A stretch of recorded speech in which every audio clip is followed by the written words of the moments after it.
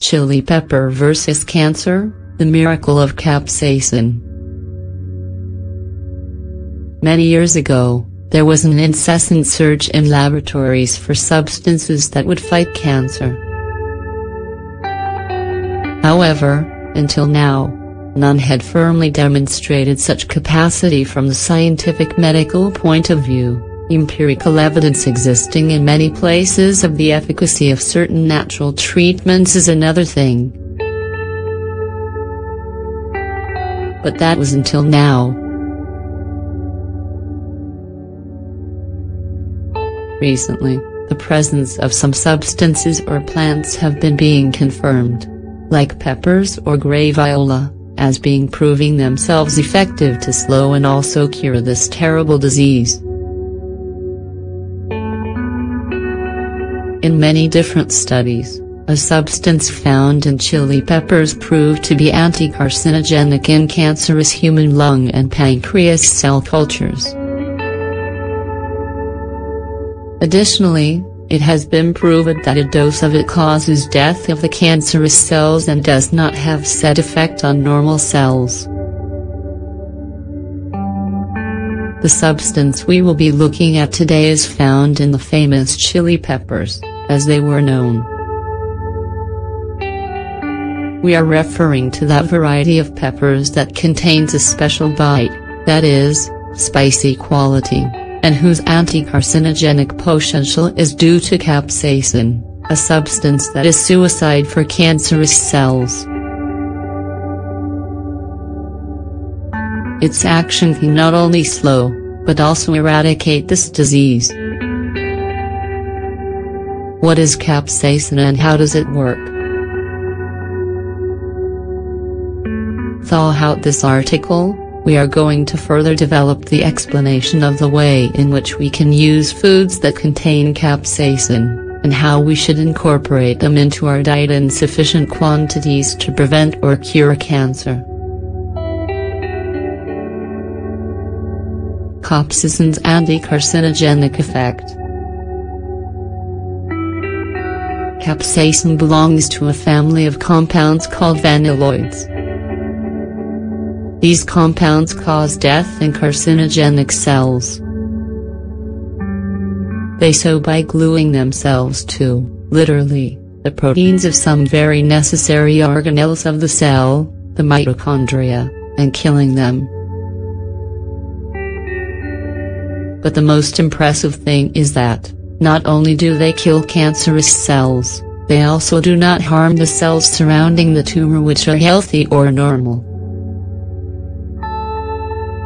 The difference between the mitochondria of cancerous cells and healthy ones is that they have a completely different biochemistry. It is one of the fundamental reasons for the selective action of the capsaicin.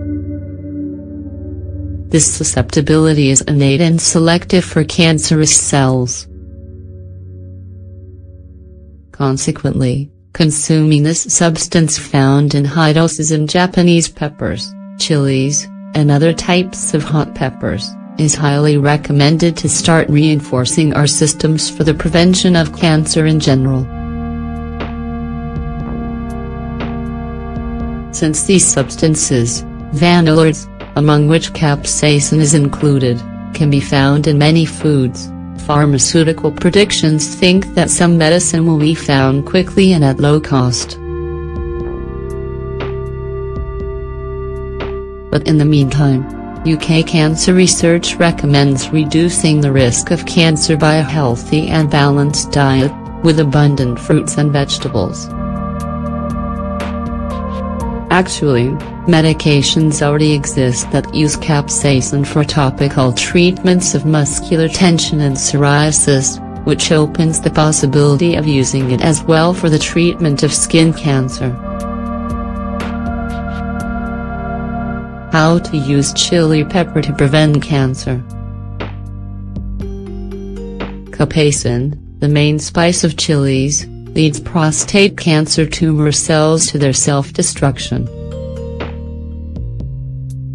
According to a recent study conducted at California University, Cedars-Sinai Medical Center, it is proved that this component, present in high concentrations in chili peppers, activates programmed cell death, or suicidal cell death, also called apoptosis, in 80 of the population of said cells with prostate cancer, reducing the size of those tumors to one-fifth the size of the untreated tumors.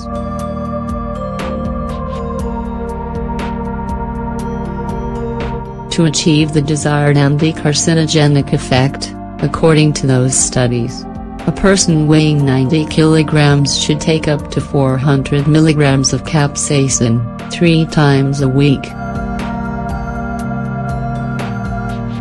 That means the consumption of between 3 and 8 fresh habaneros.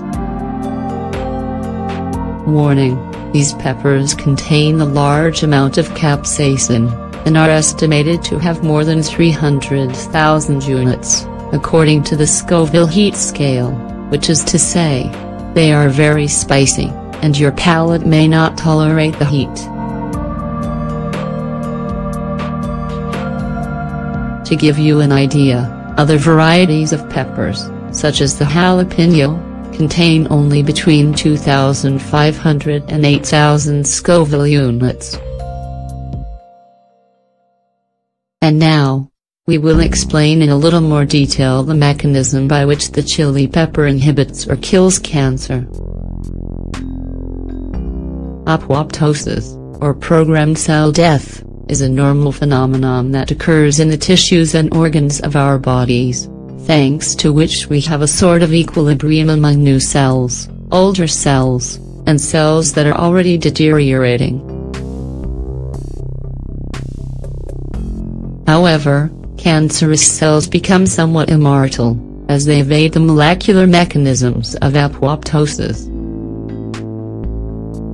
Scientists observed that capsaicin inhibited the activity of a molecular mechanism, NF-kappa beta, that is altered in cancerous cells that, in normal conditions, participates in apoptosis, or cell death, in many kinds of cells.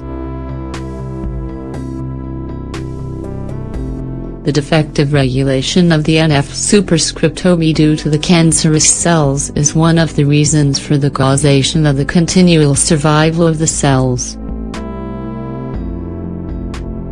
The spicy component of those chilies also reduced the formation of a protein that is frequently produced in large quantities by the prostate tumors and can signal the presence of a tumor in men.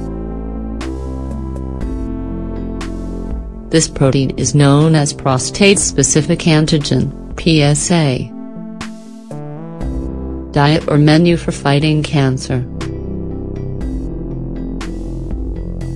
In view of the marvelous properties of spicy foods containing capsaicin, if we want to help fight or prevent cancer, we need to incorporate as many foods containing capsaicin as possible into our diet, that is, peppers and ginger. It should be understood that the higher the spiciness of a pepper, chili, or cayenne pepper, the higher concentration of capsaicin it has. We should not forget that it is ideal that said food items be eaten raw, as all the beneficial properties are conserved in that way. Chili peppers are the most potent known source of capsaicin and some even rank higher on the Scoville scale, like jalapenos or habaneros. Tabasco This commercial sauce is made from Tabasco peppers from the Mexican state bearing the same name and by adding vinegar and salt.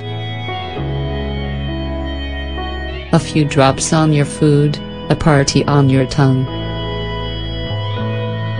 Cumin Although it is much less spicy than the aforementioned ones, it contains capsaicin and can add a great flavor to legumes, as well as being the main ingredient in Mojo Canario sauce.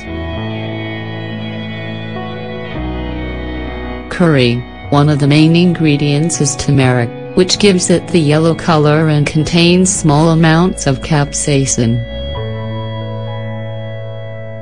Capsaicin is reinforced by caffeine in a synergetic form, which is to say, The combination of the two helps more actively prevent and cure cancer and also helps burn fat.